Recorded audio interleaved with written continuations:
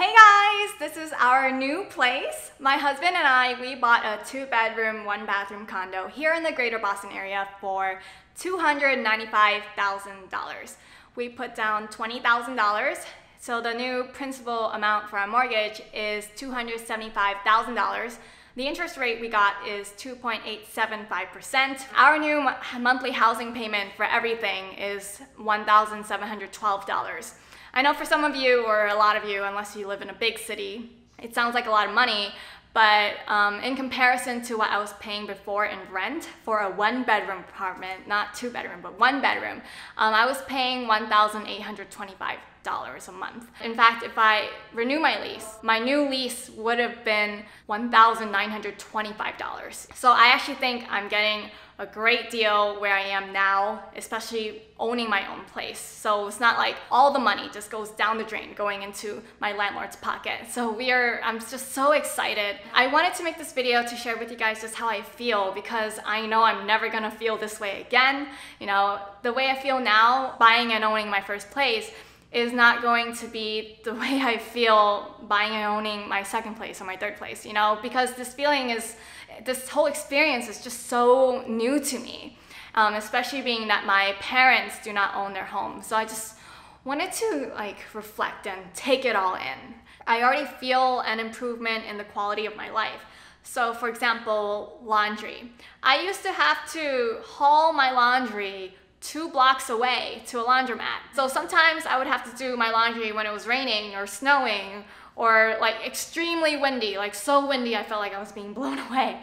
I'm so excited right now because I get to just go downstairs to the first floor and do my laundry there and then I get to come back up you know, I save so much time now and I don't have to waste my energy trying to coordinate when am I going to do my laundry during this week. My second example of an improvement in the quality of our life is definitely the kitchen. So in the old kitchen, it was just so dimly lit. Ugh and so narrow that like you can't open the refrigerator door all the way. Putting away the groceries every week was such a chore because like I'd have to stand on one side of the refrigerator. My husband would have to pass me the groceries from the other side so I could put it away. Or like not having an, an exhaust when you cook. Where's all the smoke gonna go? You know? I mean, for sure, it's the kitchen. I mean, I love my new kitchen. It is definitely going to be a place I enjoy cooking in every day, especially when I cook every day to save money. The third thing for sure is the bathroom. So the old place had a window in the bathroom by where the bathtub was. How are you gonna take a shower when there's a window right where you're taking a shower. We had to have like a double shower curtain happening. One side where it normally is and the other side covering the window. Sometimes because it's windy, it blows at the shower curtain and I just feel like the two shower curtains are trying to touch my body and I just couldn't enjoy taking a shower every day because I just I didn't like the feeling of a shower curtain touching my body. So our new place, there's no shower curtains. You know, it's just a um, glass door for the bathtub. And it just feels so much more spacious. And I, I feel like I can actually relax when I'm taking a shower. All the small little things that I just told you about that really bothered me about the place that I was renting. I actually used all of that every day as a motivator to sacrifice and to scrimp and to save for the last two years so that I would have enough of a down payment to get a place of our own. Um, so like every time I something bothered me, for example, like the closet door of our old place wouldn't close all the way, you know what? I'm going to be a homeowner. If I, for example, saw my neighbor's saggy butt because view outside of my window was actually the building next over, I'm gonna be a homeowner. Every time something annoyed me, I just used that as fuel to want to become a homeowner. I have to say though that the excitement over the anticipation of being a first time homeowner um, was actually more exciting than the fact of being a homeowner. So don't get me wrong, I'm, I feel really happy that I'm living in this place that I own now, but I just feel like I worked up so much excitement prior to this that being here is just not as exciting as trying to anticipate for this. Oh guys, you know like I don't like to get ripped off, but I mean I feel like I'm getting ripped off here. These walls were green and blue before they were white. And I called for a few quotes and this one guy was quoting me $3,500 for wall and ceiling and he's going to include the cost of the paint.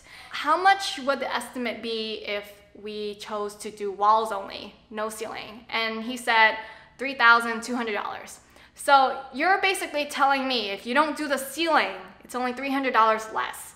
So can I hire you to just do the ceiling only for $300? Like, it's just things like this. I feel like maybe because I'm new, I don't really know.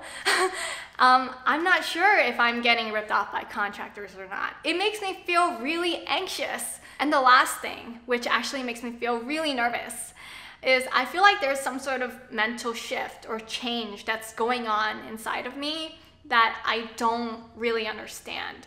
So, like, for example, uh, back to the kitchen. Um, we wanted to make this place look really nice. So I wanted under cabinet lights. And my husband came home with under cabinet lights, but he bought the smallest size, which was 12 inches. And all of a sudden, I get really picky with him. I'm like, why did you buy the smallest size? I want to get the largest size we can for the cabinet that we have. And he said to me, well, I thought because you're so cheap, you would want me to get the cheapest one. And the cheapest one was the 12 inch one. And I said, no, go back to the store, return these and go get the right size. And he said, yeah, but these are, the right size is like $30 more for each one. And when you have like four or five, you know, it, it's like what $150 more? It's weird. It's weird for me to act like this and to be a bit more picky and go like yeah i don't care if it's $30 more. Go and buy it. I don't know why i'm feeling this way. Maybe because i've sacrificed for so long. I just want to finally enjoy my money for a little bit of time before i go back to being all frugal and scrimping and saving again so i can buy more property for investment you know but i i don't know it's, it's just such a weird feeling, and I, I don't understand it. But eh, this is what I'm going through right now, guys. So I hope this just gives you a little bit of insight if you're saving for your first home, what it's like. All right, guys, I will see you guys next time. Love you all. Bye.